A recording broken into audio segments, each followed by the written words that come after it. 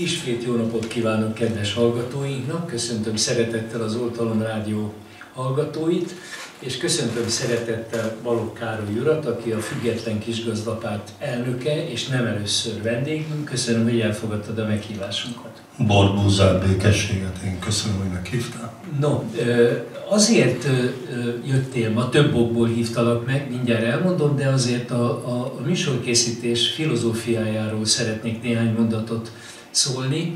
Mi olyan szervezeteket, olyan pártokat hívunk meg ennek a rádiónak a stúdiójába, akik általában a szokásos és a hallgatott adókból kiszorulnak.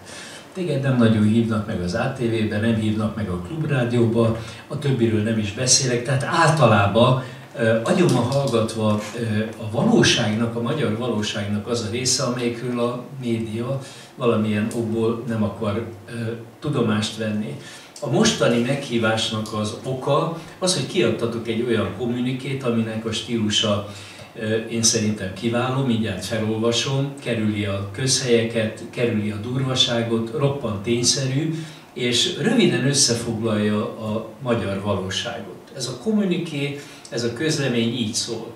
Magyarországon lábbal tiporja Orbán Viktor a jogot, a jogállamiságot, a bíróság és az ügyészség függetlenségét felszámolta a szabad sajtót, eltörölte a köztársaságot és a, Magyar, a Magyarország alkotmányát, intézményesítette családja és haverjai korrupcióját. Hatalmát hamis dokumentumokkal, nem létező párttal kötött kormányzásra vonatkozó szerződésekkel alapozta meg. Azért tapostatja el a független kisgazdapárt minden létét bizonyító eljárást, mert pontosan tudja, hogy az ő érdekében hoztak létre egy klón kisgazdapártot, ami soha nem létezett, és ezzel a nem létező párttal alapozta meg jelenlegi hatalmát. Amíg egyes esküjükhöz hű bírák a hibát, idézőjelbe téve a hibát, már nyilvános bírósági tárgyaláson is elismerték, addig más bírák a mai napig részt vesznek ezekben a teljesen törvénytelen eljárásokban ezért elemi érdeke, hogy az igazi pártot eltapossa, különben kiderülne, hogy csalt, csal és csalni fog, azért, hogy lophatott, ma is lop és lopni fog. Borbuzár békességet kell Budapesten 2022. október 25. napján Balogh Károly, a Független Kisgazdapárt elnöke. Eddig a kommuniké. No, mi volt az ok, ami az utolsó, mert hát tudjuk, hogy régóta vannak okok, de mi volt az utolsó közvetlen ok, ami ennek a kommunikének a kiadását ö, ö, indokolta? Először is hadd kezdjem egy picit régebről. Tehát a mi olvasatunkban 1992. augusztus 17-én halára ítélték a független kisgazda földmunkás és polgári pártot. Bocsáss meg, de legalábbis azt, amit 1930-ban alapítottak, amit 1989. decemberében Vörös Vince élesztett újjá. Így van, így van, de számunkra csak ez az egy párt létezik, és, és ezt halára ítélték. Így gyakorlatilag 30 éve vagyunk síralomházban, és most eljutottunk oda, hogy a magát kereszténynek tartó kormány pártok, a Fidesz és a KDNP így gyakorlatilag végre akarja hajtatni a mi kivégzésünket. Tehát ott állunk a bitófa alatt, nyakunkon a kötél, és, és ilyen esetben én úgy tudom, hogy még a halára ítéltnek is jár az, az utolsó szójogán egy, egy megszólalási lehetőség, és mi ezt annak szántuk. Térjünk, bocsánat, térjünk vissza 1992. augusztusára. Ha emlékeznek a hallgatók, akkor derült ki, hogy Tordján József érintett volt az ügynök ügyekben, és kiderült róla, hogy elő, ügynök előélete volt, aminek az lett az eredménye, hogy szétszakadt a kisgazdapárt. Nem az lett az eredménye, az lett az eredménye, hogy a Momban tartottunk egy nagy választmányt, ahol 864 küldött egyhangulag, tehát kizárta Tordján Józsefet a független kisgazda földmunkás és polgári pártból, illetve megszüntette az addig fennálló elnök, elnöki mandátumát. Tehát konkrét, Erre föl, tornyán. konkrétan ez történt.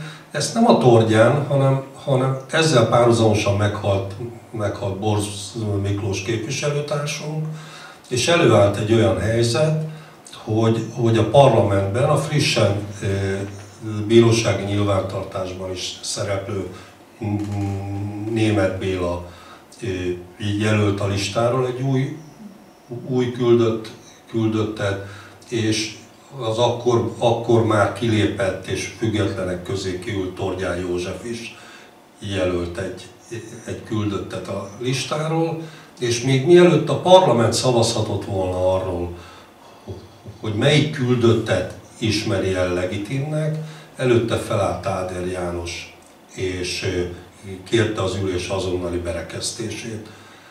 Ezt az akkori házelnök megszavaztatta, és láss csodát, a parlament elfogadta és lezárta az ülést.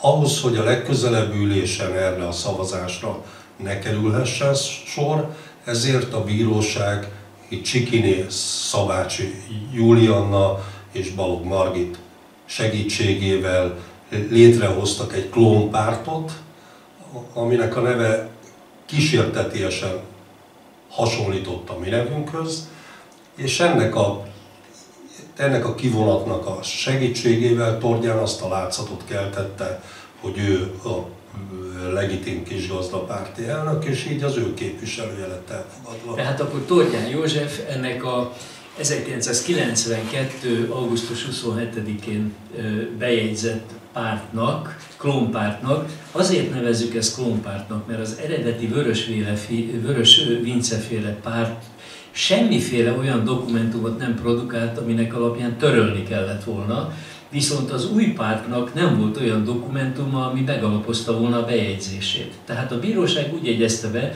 hogy ennek semmiféle előtörténete nem volt, és semmiféle törvényi előírásnak nem felelt meg, hiszen ehhez dokumentumokat kell, alapító dokumentumot, alapszabályt, tag nyilvántartásnak egy részét, ezt kellett volna produkálni. Ennél is súlyosabb a helyzet, semmiféle végzés nem született. Tehát annak ellenére, hogy, hogy a közhiteles nyilvántartásban nyilván tartanak egy végzés számot, ami a ami a, ami a bejegyző végzése annak a, annak a klónszervezetnek.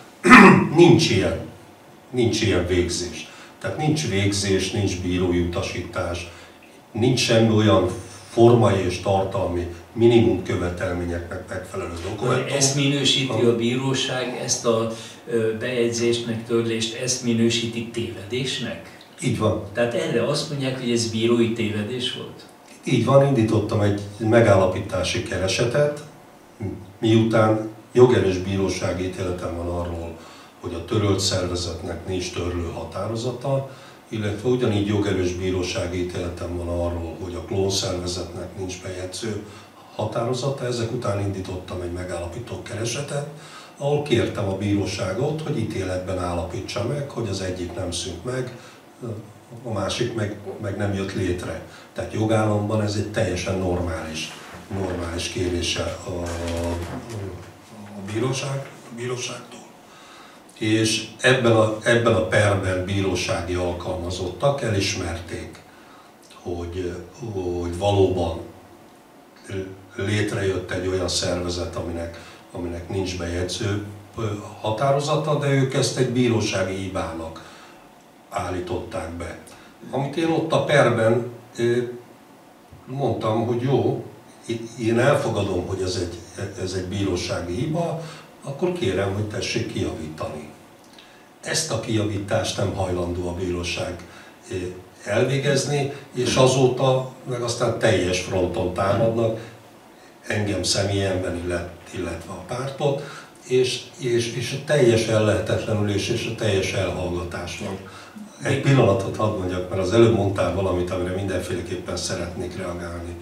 Tehát engem nem nem hívnak meg sehova, hanem konkrétan volt olyan eset, amikor meghívtak, elmentem, majd a főszerkesztő közölte velem, hogy sajnos nem szerepelhet, nem szerepelhetek, mert nem rajta vagyok azon a tiltó listán, ami, ami ezt megtiltja. Tehát én azt állítom, hogy, hogy, hogy léteznie kell egy olyan listának, ami vagy a meghívhatók listája, vagy a, vagy a kitiltottak listája. Én, én úgy gondolom, hogy, hogy most már inkább, inkább a meghívhatók listája van mindenhol nyilván tartva, mert az a rövidebb. Tehát sokkal többen vannak kitiltva ezekből a médiákból, mint a hányat beengednek, hiszen, hiszen akárhova kapcsol az ember, mindenhol ugyanazokat az arcokat, ugyanazokat az embereket látja. No, még mindig 1992, de most már nem mondja arra, hanem az ősz, amikor a pénzügyminisztérium intézkedik a költségvetésből a pártok támogatásáról. És akkor Kupa Mihály, az akkori pénzügyminiszter, eligazítást kért a cégbíróságtól, hogy melyik kis gazdapártnak fizesse ki a szokásos évi költségvetési támogatást. És hát hogy döntöttek, ki kapta meg? Tényleges, tényleges döntés nem született, ezért, ezért, ezért Kupa Mihály utasítására bírói letétbe teljesítette a magyar állam a pártnak járó támogatást és csodák csodájára a bíróság valamilyen formában, aminek semmiféle okirati, okirati bizonyítékát én, én nem lehetem fel, nyomát se találjuk egyébként, hogy hogy került ez a pénz Tordján József klópártyához. És azóta, attól a pillanattól kezdve szisztematikusan mindenhol mindenféle anyagi, anyagi támogatást, ami a pártnak járt volna, azt ez a klónpárt kapta meg. Ez vonatkozik arra az ingatlan vagyonra is, amit egyébként a vagyonátadó bizottság a 89-es pártörvény felhatalmazása alapján eljárva a pártnak biztosított. Ugyanis akkor, amikor, amikor Vörös Vince kérte a párt nyilvántartásba vételét, akkor mi nem új pártként lettünk bejegyezve, hanem egy működő pártként lettünk nyilvántartásba véve. Alvópárt volt a kis gazdapárt. Így van, és úgy lettünk nyilvántartásba véve, hogy mi abban a, abban a kérelmünkben kértük a magyar államot, hogy az, az, az elmúlt időszakban elszenvedett vagyonvesztésért minket kártalanítsanak. Tehát gyakorlatilag a magyar állam az, az úgy kártalanította a független kisgazda földmunkás és polgári pártot, hogy részint biztosította a Belgrád rakparti volt, volt székházat, Posga Imre féle, féle székházat a párt tulajdonába adta, illetve még kaptunk kb. 64 ingatlant örökös ingyenes használatba. Ez volt a, ami... De ezt az Vörös féle párt kapta, vagy Így a van. Hát ezt, ez, ez mindig, tehát minden ö, ilyen jellegű juttatást, mivel ez a, ez a 89-es pártörvény alapján, alapján történt, ezt, ezt mindent az eredeti párt kapott, hiszen akkor még ez a klónszervezet nem létezett. Na de ki használta ezt az ingatlant, ami jogi szempontból a Vörös féle alakulat tulajdonában volt, de ki használta? Hát ez Tornyán elfoglalta ezeket az ingatlanokat, és, és gyakorlatilag attól a pillanattól kezdve, tehát 92. augusztus 17-től kezdve Tordján úgy viselkedett, mintha ő, ő, ő az eredeti párt lenne, és, és, és teljesen természetesen megkapta ezt a brutális ingatlan vagyont, úgy, hogy egyébként a földhivatal maga észlelte, hogy ez nem ugyanaz a szervezet, mint aminek a, aminek a pártörvény rendelte odaadni, és három alkalommal szólították fel Tordján Józsefet, hogy a jogképességét igazolja valamilyen formában. Aztán utána ez abban maradt, és gondolom erőből. Pártolták, és onnantól kezdve nem rendelkeztek felette. De az ingatlan vagyon e, e, eladásában és a, és a, és, és, és a teljes vagyonunk elkutyavetélésében ez a klónpárt vett, vett részt szerintünk, és az én, én nagyon szerint jogértelmezésem szerint az összes szerződés semmi is, hiszen nem az arra jogosult rendelkezett az ingatlan, ingatlan vagyonról. Többek között ez a probléma, és, és többek között ezért is szeretnének minket sóval behinteni. No, mit szólt ehhez a politika többi szereplője? Eleve tudtak-e, tehát tudtak-e a többi párt, tudott erről a történetről? Voltak-e egy tudatos reakciók, vagy általános tudattalanság jellemezte a, a többi résztvevőt? Hát kedves Károly, legnagyobb tiszteletem mellett azért, azért, azért az a közös bűn, amit ezek a, ezek a pártok, és ezeknek a pártoknak a vezetői elkövettek, itt közvetlenül a rendszerváltást megelőzően és azóta is, ez a közös bűn azért összetartja ezt a, ezt a társaságot, és, és, és ez a kis gazdapártnak az eltüntetés az, az egy olyan közös bűn, ami, ami, ami, amit egyszerűen nem, nem hajlandóak beismerni, illetve nem Tehát mindegy, hogy ki volt kormányon, Teljesen te hiába fordultál bárkihez, elutasításban volt részed, és azt mondták, hogy ez nem probléma, ez a ti problémátok, oldjátok meg, holott ez egy jogi természetű probléma, amit a bíróság nélkül nem lehet megoldani.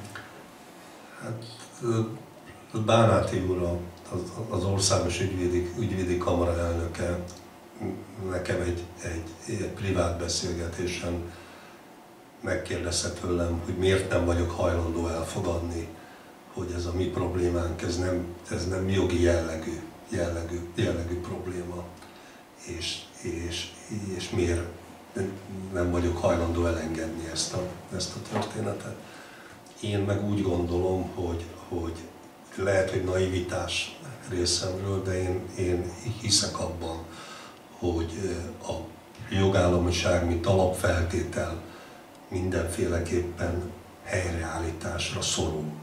Tehát az, hogy, hogy, hogy bármilyen, bármilyen területen valódi változás lehessen elérni, és, és ne legyünk egy olyan következmények nélküli ország, ahol, ahol tulajdonképpen bárkit el lehet lehetetleníteni, bárkitől bármit el lehet venni, ennek az az alapfeltétele, hogy, hogy legyen egy olyan, egy olyan fórum, ahol, ahol, ha nem is igazságszolgáltatás, de legalább jogszolgáltatás lehessen találni. Ezt, amit, amit, amit most érzékelek, ez gyakorlatilag, gyakorlatilag azért abszurd, mert, mert gyakorlatilag teljes frontos támadás van most ellenünk. A kúria hozott egy olyan döntést, ami, ami egyszerűen, egyszerűen jogilag is és, és mindenféle formában értelmezhetetlen.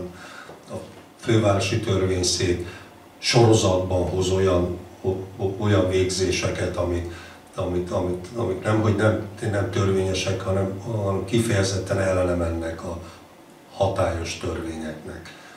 Tehát ez a, ez, ebben a folyamatban én azt látom, hogy, hogy eljutottunk oda, hogy gyakorlatilag tök mindegy, hogy, hogy, hogy jogilag, jogilag mi van, a független kis az a főmunkás polgári pártot fel kell akasztani, el kell, el kell tüntetni.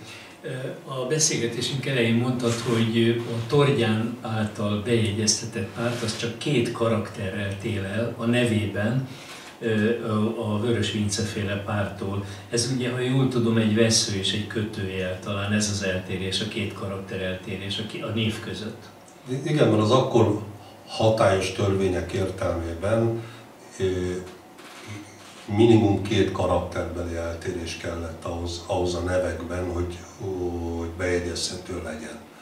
Most a, a független kisgazda főmunkás polgári párt nevében van két kötőjel és egy vesző és ezek ugyanolyan karakternek számítanak, mintha mondjuk egy A vagy egy B betű hiányozna belőle.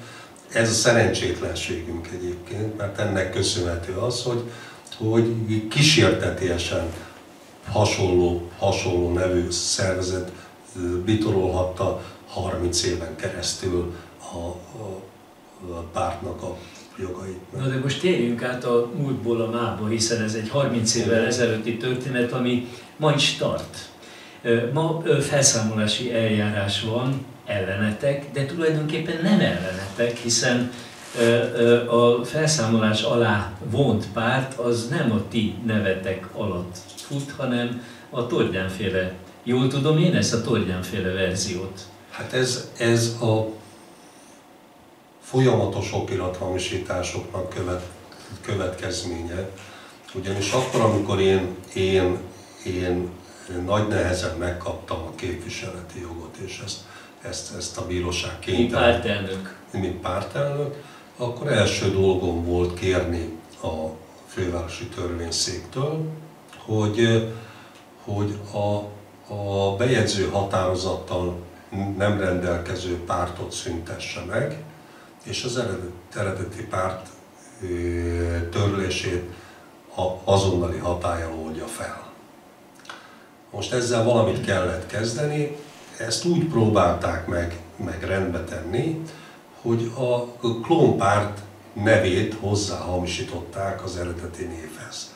De mivel időközben elindult egy felszámolási eljárás a, a, a klónpárt, klónpárt nevére, ezért most eljutottunk oda, hogy egy olyan szervezetet próbálnak felszámolni, ami egyáltalán nem szerepel a szervezeti nyilvántartásban. Ezt, ezt én már most, most már többedik alkalommal jeleztem a, a bíróságoknak is. Most ebben a pillanatban az ítélőtábla előtt van egy kérelmünk, ami kifejezetten kérjük, hogy, a, hogy, hogy ezt az eljárást azonnali hatája szüntesse meg, hiszen egy nem létező, nem létező szervezet ellen indult, és így ez, ez teljességgel, teljességgel törvénytelen. Hát ez a 30 év, ez nem lehetett egyszerű a, a Vörös Vince pártnak, és hát neked, aki elég hosszú ideje vezeted ezt a pártot, és hát személyesen képviseled bíróságtól kezdve minden hivatalos fórum előtt a kisgazdapártot. A, a, a, milyen segítséged van? Tehát milyen társadalmi támogatottsága van ennek a formációnak, milyen a társadalmi ismertsége? Tudom, hogy járod az országot, tudom, hogy vannak régi kis gazdák, Atyánszki Györgytől kezdve Csesándorig, akik ott vannak a te hátad mögött, és hát egy csapatban vagytok. Mire jutottatok eddig, és mi a cél? Ez azt kell mondjam, hogy 92. augusztus 17-e óta gyakorlatilag folyamatosan és szisztematikusan jelezzük az éppen regnáló hatalomnak, az éppen regnáló igazságügyminisztereknek ezt a, ezt a problémát, hogyha ezt problémának lehet, lehet, lehet nevezni, de, de gyakorlatilag sehol senki nem volt hajlandó foglalkozni vele. 92. augusztus 17-én körülbelül 28 ezer legitim kisgazda tagsága szűnt meg azzal, hogy, hogy az eredeti kisgazda pártot töröltén nyilvánította a bíróság.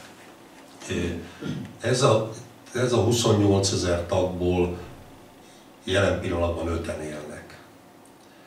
De élnek a leszármazottaik, élnek a, élnek a családtagjai, és, és, és, és valamiért ragaszkodnak ahhoz, hogy, hogy igenis szükség van a kisgazda eszmeiségre, a, a kisgazda. De, de tényleg ennyien meghaltak azóta? Hát igaz, hogy 30 évvel ezelőtt történt, és az is igaz, hogy a kisgazdapártnak nem csak fiatalok voltak a tagjai, hanem jó részt olyan idősebb emberek, akik hát a, a, a Kádár rendszer előtt is kisgazda, meg a Rákosi rendszer előtt is kisgazdák voltak. Hát jellemzően, igen. Jellemzően, de, de ettől függetlenül mondom, a, a mai napig fiatalokhoz járok egyébként, tehát a, a, az ős, ős, én úgy szoktam mondani, hogy ős, ős kis gazda családokhoz járok. És, és, és én, én úgy tapasztalom egyébként, de nem csak én tapasztalom így, hanem most a választások előtt a századvégnek volt három darab, darab felmérése ebben a témában, és a, a századvég úgy, úgy mérte, tízezres listából mérnek, tehát nem ezer főt, főt kérdeznek, hanem, hanem tízezrest. Ők úgy mérték, hogy 500 ezer olyan, olyan Fidesz szavazó volt akkor, aki abban az esetben, ha a kisgazdapárt visszanyerni a legitimitását, akkor elbizonytalanodna. Ezt, ezt a kifejezést használja. Ugye, hát akkor a, a kommunikébe ezért utaltatok arra, hogy hamis pártal kötött, nem létező pártal kötött szerződést Orbán Viktor a hatalom megtartása érdekében, és tulajdonképpen bitorolja a kisgazda nevet. Hát konk, tehát ennél súlyosabb a dolog, tehát mivel rendelkezésünkre áll a 98-as szerződés, illetve annak a szerződésnek a 2000-es módosítása is, egyértelműen megállapítható, hogy Orbán Viktor az akkor töröltként nyilvántartott párttal kötött koalíciós megállapodást, nem pedig a klónpárttal. Ez, ez természetesen nem véletlen, hiszen azért az, az jellemzően jogászok alkotják a Fidesz csapatot, és mivel az eredeti helyzet előállításában is ők vettek részt, hiszen említettem, hogy Áder János volt az, aki, aki kérte az ülés berekeztését a parlamentbe, illetve, illetve utána azért ezt a fajta ügyintézési módot azért ők, ők találták ki. Ők rendelkeznek azzal a, azzal a kreativitással és azzal a fiatalos, fiatalos, még akár pofátlannak is nevezhető megoldásokkal, ami, ami egyébként a mai napig jellemző erre a rendszerre. A kezdetben ragyogónak induló Orbán-Tordján kapcsolat aztán megromlott, és Tordján kormányból való eltávolításának egyik indoka lehetett az, hogy nem is vele kötött, tehát nem az ő pártjával kötött szerződést 98-ban Orbán Viktor? Így van, de ezt Kindlovics Máté nekem, nekem el is mondta, tehát tehát gyakorlatilag volt egy, egy beszélgetés a Lendvai utcában, ahova engem úgy hívtak, hogy Kubatov Gábor szeretne velem, velem találkozni, aztán az ő, ő kabinetfőnöke Kindlovics Máté fogadott, és ő közölte velem, hogy ők a Tornyánféle kisgazdapárttal kötöttek megállapodást, nem pedig velünk, és ezért velünk semmi dolguk nincs. De egyébként hozzátette azt is, hogy mindenkit megvesztek, akit akarnak, és, és tulajdonképpen nincs szükségük, nincs szükségük senkire. Mi lehet az oka annak, hogy két olyan történelmi párt van Magyarországon, amelyik ö, sikeresnek mondhatja magát? Az egyik az 1890-ben alapított szociáldemokrata párt, a másik pedig az 1930-ban alapított független kisgazdapárt, aki a második világháborút követő első szabad választásokon 50%-nál komolyabb, tehát jobb eredményt ért el, és hát kormányalakító tényező lett.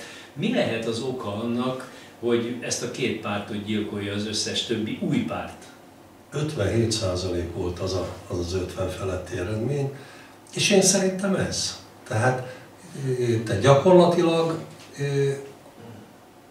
akkor, akkor bebizonyította a kisgazdapárt azt, hogy igenis kormányzóképes, bebizonyította azt, hogy, hogy egy olyan, olyan súlyos helyzetben, amikor, amikor az infláció az, az dübörgött és, és, és teljesen elértéktelenült az akkori pénz, hogy képes kezelni ezt a, ezt, ezt, ezt a helyzetet, hiszen bevezette a forintot, elindult az ország újjáépítése, majd ezt követően, amikor, amikor, amikor megzsarolták Nagy Ferencet, és, és kénytelen volt elhagyni Magyarországot, miután, miután Amerikába élt, és, és ennek, ellenére, ennek ellenére többet tett az országért, mint az éppen akkor, akkor, akkor regnáló, regnáló rezsim. Hiszen, ha visszaemlékszünk, amikor, amikor Mincentit letartóztatták, akkor a Vatikán megszüntette Magyarországgal a diplomáciai kapcsolatokat. Ezeket a diplomáciai kapcsolatokat Nagy Ferenc segített helyreállítani és, és rendezni, illetve Nagy Ferenc volt az, aki, aki a koronázási ékszerek Magyarországi visszahozatalában is jelentős szerepet játszott. Ennek ellenére, amikor, amikor hozták akkor ő nem vehetett részt a delegációba, hiszen pedig ő volt az, aki, aki, aki az amerikai, amerikai parlamentben külügyi bizottságában nagyon keményen kiállt azért, hogy, hogy ezek visszajárnak a magyar nemzetnek, nem a kormánynak, a magyar, nem, a magyar nemzetnek. Miután a független kisgazdapárt kiszorítatott a magyar politikai közéletből, hogy látod, a magyar vidéknek van ma értelmezhető politikai képviselete? Nincs. Parlamentben, bárhol? Nincs. Nincs, sőt, sőt kifejezetten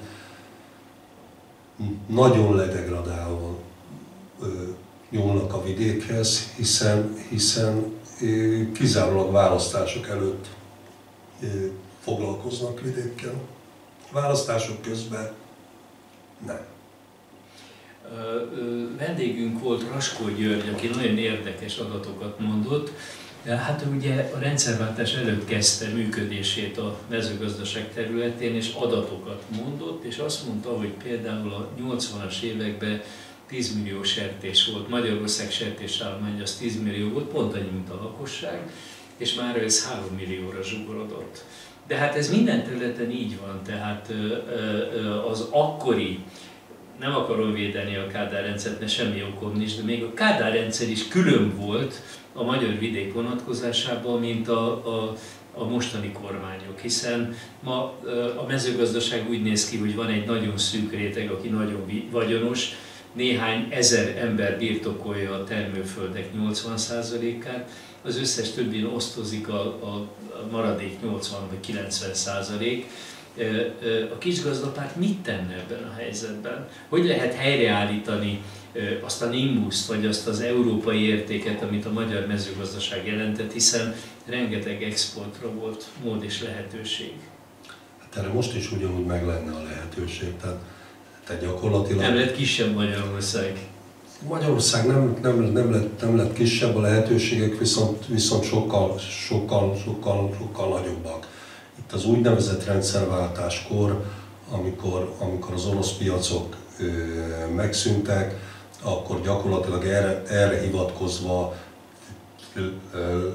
le lett építve minden olyan mezőgazdasági feldolgozóipar, ami, ami tulajdonképpen az orosz piacra épült és, és az, azzal, azzal számolt de, de hát a világ nem, nem csak az orosz piacból áll. És, és igenis óriási szükség lenne azokra a termékekre, mert a magyar mezőgazdasági termékek ugyan, ugyan mennyiségileg nem ö, ö, relevánsak világméretekben, hiszen pici ország vagyunk, viszont minőségileg annyira annyira kuriózum lehetne az, lehetnének azok a termékek. Beltartalmát tekintve, Abszolút, biológiai. Így van. Íz. Íz. Tehát én soha nem felejtem, amikor először Amerikában, Amerikában voltam, és gyönyörű zöldségeket vásároltam a boltba, de semminek semmi íze nem volt. Tehát azért, azért Magyarországon én emlékszem rá, amikor a zsíros kenyér mellé letétünk egy paradicsomot, és annak, annak paradicsom íze volt. Most minap, minap jártam Szolnokon, és ott egy olyan húslevessel, húslevessel kínáltak, ami, ami, ami emlékeket ébresztett bennem. Tehát, tehát egész más a, a, a minősége, a beltartalma azoknak a, azoknak a mezőgazdasági kitermelők. A röhely egyébként, hogy, hogy Magyarországon a legnagyobb, legnagyobb vágóinak, mert ez is központosítva lett, mint, mint minden más, lengyel, ukrán, mindenféle helyekről behozott silány beltartalmú élelmiszereket, élelmiszereket dolgoznak. Például sertéshúst. Abszolút, így van.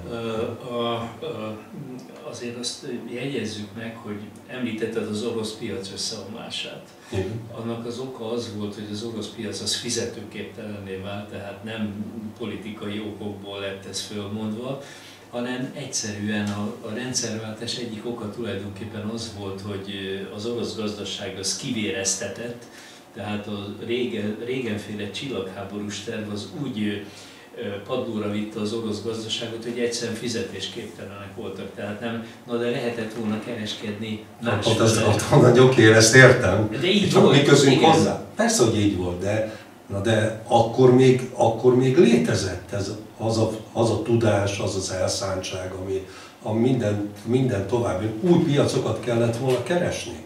Most új piacokat nem, nem kerestük, viszont, viszont aljas módon elárultuk a, a saját piacainkat, és gyakorlatilag kiszolgáltatottak lettünk mindenkinek. Tehát, tehát ha ez a nemzet érdekében megtörtént, akkor, akkor, akkor, akkor Járod a vidéket, találkozol igazi, a szó jó érte, szó igazi értelmében vett kisgazdákkal, akik családi birtokon gazdálkodnak, tehát 10-20 hektáron vagy még kisebben. Milyen ezeknek az embereknek a hangulata?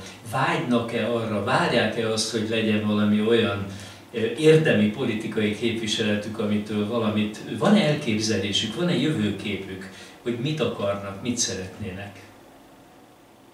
Titokban van, de egyébként, egyébként az, ami, az, ami vidéken, vidéken történik, az, az, az abszolút módon letükrözi azt, ami, ami egyébként az egész országban történik. Tehát, tehát itt, itt, itt azok a vidéki kiskirályok, akik, akik, akik kezükbe tartják a, a területeiket, akik nyugodtan mondhatunk, hogy rabszolgasorban tartják azokat az embereket, akik ott élnek, és, és rettentő módon visszaélnek a hatalmukkal. Mondok, mondok konkrét példát. Tehát tehát az, amikor közmunkásként a, a polgármester fiának a cégében kell Európai Uniós pályázaton dolgozni egy közmunkásnak, ez, ez, ez olyan, olyan szinten megalázó és olyan, olyan,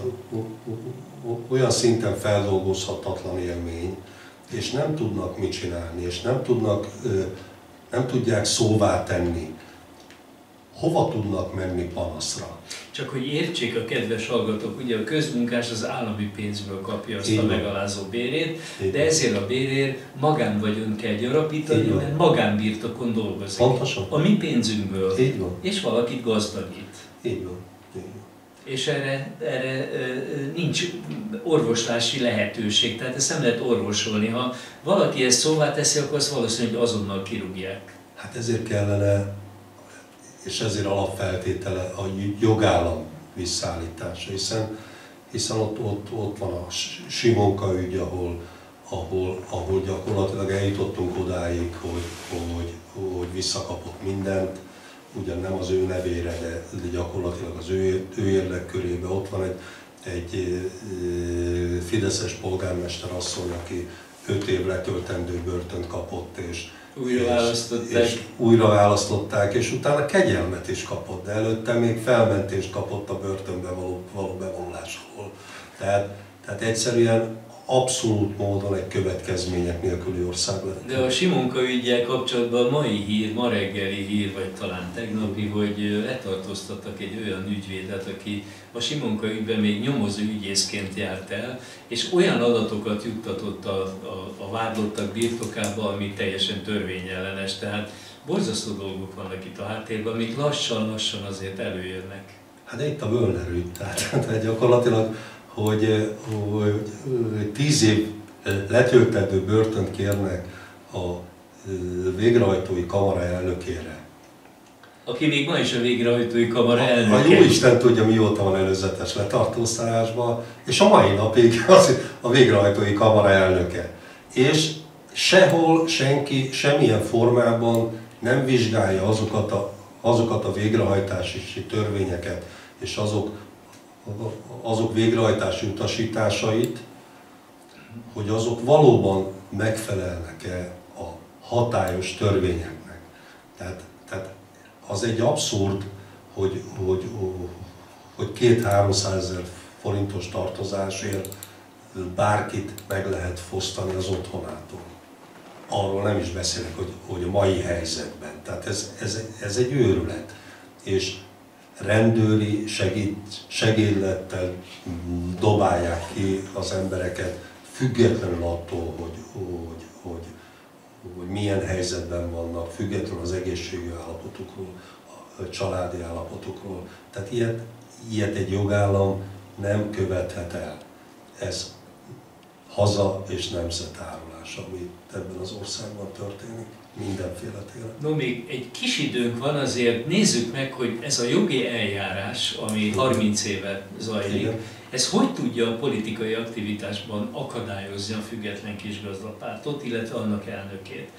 Már a műsorunkban is beszéltünk arról, hogy három párt, a köztük a kisgazdapárt és a független kisgazdapárt népszavazási kezdeményezéssel fordult a Nemzeti Választási Bizottsághoz, aminek a témája az lett volna, hogy legyen népszavazás arról, hogy a Magyarországgyűlés tűzze napirendre az Európai Ügyészséghez való csatlakozás kérdését. Tehát nem az, hogy csatlakozzunk hozzá, hanem hogy tárgyalja meg a parlament, aztán majd hozzon valamilyen döntést, mert egyelőre ilyen döntés nem született elutasították ezt a kérelmet a, a Nemzeti Választási Bizottság, mégpedig azzal az indoklással, hogy te, mint a kisgazdapárt elnöke, nem vagy jogosult politikai nyilatkozatokat tenni és politikai aktivitást kifejteni, holott miután állítólag a te pártod felszámolás alatt van, te csak anyagi kérdésekbe vagy korlátozva és anyagi kér, természetű kérdésekbe a felszámoló biztos nyilatkozhat, de hát ez egy politikai ügy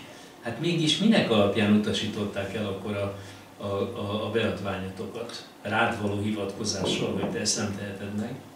Hát arra hivatkozik a, a kúria, hogy mivel egy, egy fellebezésnek vannak költségei, ezért ez egy gazdasági esemény, és mint gazdasági esemény csak a felszámoló jogosult a párt nevében nyilatkozatokat tenni, illetve fellebbezni. De ez azért marhaság egyébként, és teljesen szembe megy mindennek, ugyanis, ugyanis maga a felszámolási törvény azt mondja, hogy a, a, az Egyesület a felszámolás kezdeti pillanatától kezdve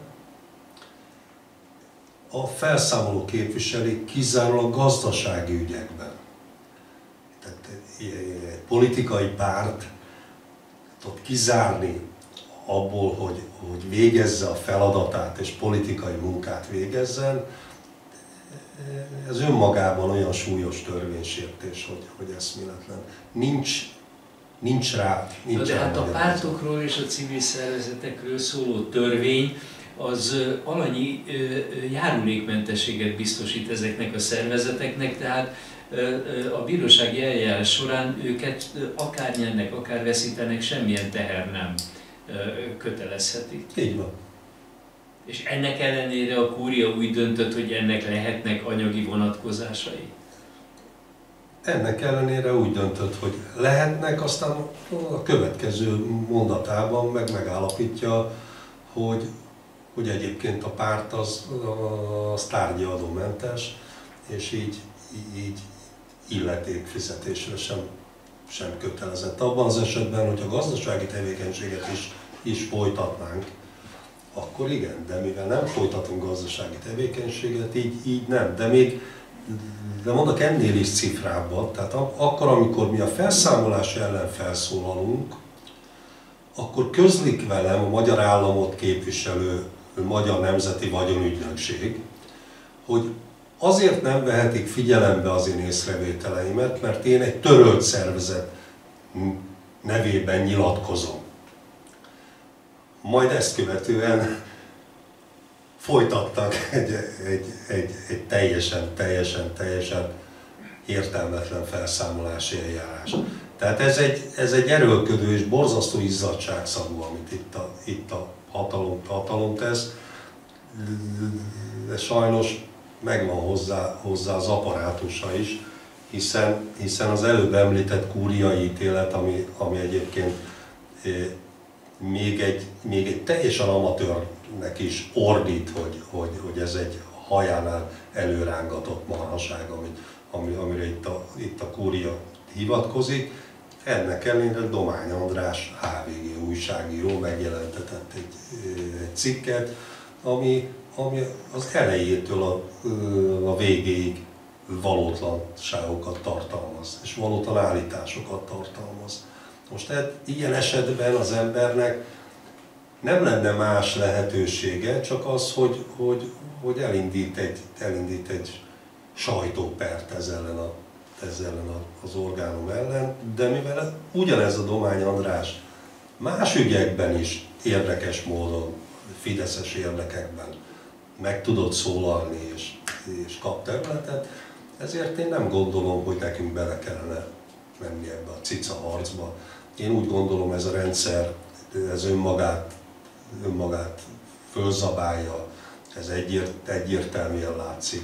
Úgy gondolom, hogy, hogy, hogy, hogy, hogy gyakorlatilag nekünk ezzel nincs dolgunk, kezeljük ezt a problémát, és megpróbálunk életben maradni addig, amíg ez a rendszer össze, összevaló, hogy utána legyen lehetőségünk.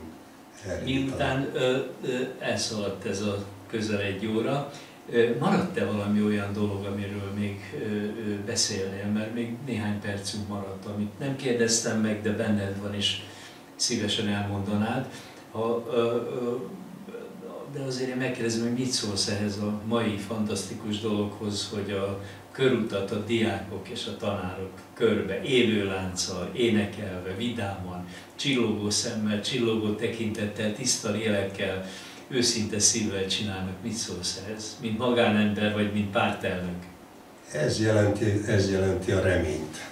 Tehát, tehát ezeket, ezeket a gyerekeket nem lehet félrevezetni, ezeket a gyerekeket nem érdekli az a, az, az a sok baromság, ami, ami, ami, a, ami a médiából árad.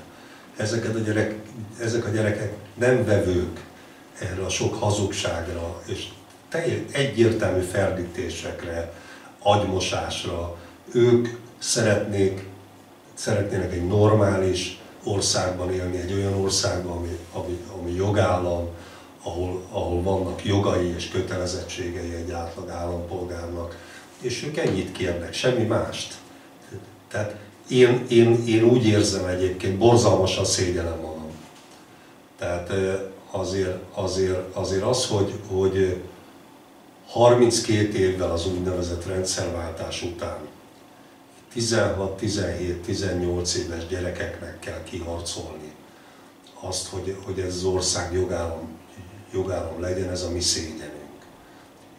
És valószínűleg borzalmasan elronthattunk valamit, és amíg még lehetőségünk van bármit jóvá tenni, és bármit segíteni nekik abban, hogy, hogy, hogy történjen végre valami olyan pozitív elmozdulás, ami jó irányba viszi ezt az országot, akkor nekünk kutya kötelességünk ezt, ezt, megtenni, kutya kötelességünk támogatni őket, és, és minden elismeréssel egyébként ezekért gyerekekért.